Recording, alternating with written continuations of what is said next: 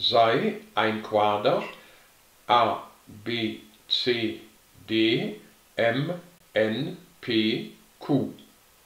Der Auftrag lautet, beweise, dass der Schwerpunkt G des Dreiecks AQC zu der Geraden DN gehört. Wir beginnen mit dieser Eigenschaft des Schwerpunkts eines Dreiecks, die wir im Tutorial Vektoren 012 bewiesen haben. Durch diese Eigenschaft wissen wir, dass Vektor GA plus Vektor GC plus Vektor GQ der Nullvektor ist.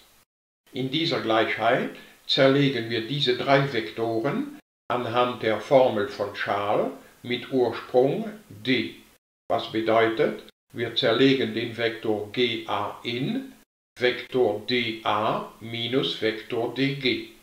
Wir zerlegen GC in dc minus dg und dasselbe machen wir für den dritten Vektor. So sehen wir hier, dass wir den Vektor minus dg einmal, zweimal, dreimal haben. Daraus schließen wir also, dass Vektor dA plus Vektor dc plus Vektor dq minus 3 Vektor dg den Nullvektor ergibt. Was bedeutet, dass das Dreifache von diesem Vektor dg gleich ist zu Vektor dA plus Vektor dc plus Vektor dq. Jetzt kümmern wir uns um den Vektor dn. Um diesen Vektor.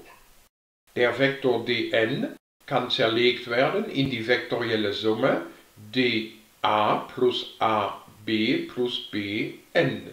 Also so, der Vektor AB, AB ist genau derselbe wie der Vektor DC. Und der Vektor bn, bn, ist genau derselbe wie der Vektor dq.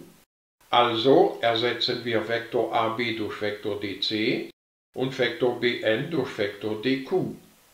Und jetzt stellen wir fest, der Vektor dn ist gleich zu dieser vektoriellen Summe, der Vektor 3dg ist aber auch gleich zu dieser selben vektoriellen Summe, woraus wir schließen, dass der Vektor dn genau das Dreifache vom Vektor dg ist. Der Vektor dn ist genau das Dreifache vom Vektor dg. Daraus können wir insbesondere schließen, dass der Punkt G zur Geraden dn gehört. Es ist genau das, was zu beweisen war, also ist dieser Auftrag erledigt.